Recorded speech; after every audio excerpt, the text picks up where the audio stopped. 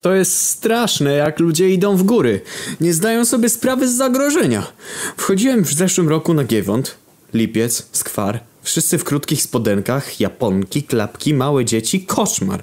Ja jedyny byłem przygotowany, dwa czekany, raki, profesjonalna odzież, specjalistyczny, mocno spłaszczony namiot, żeby opierał się wiatrom, butle z tlenem. Najgorsze były te ich drwiące spojrzenia, ignorantów, a przecież to góry. Wszystko może się zmienić w sekundę.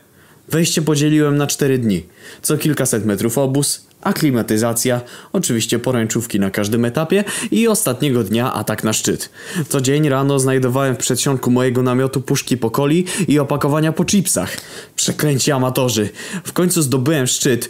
Zużyte butle zostawiłem pod krzyżem w strefie śmierci, gdzie o zgrozo spotkałem babcię z dwójką wnucząt. Schodziłem kolejne cztery dni, ale przeżyłem tę próbę umiejętności i charakteru.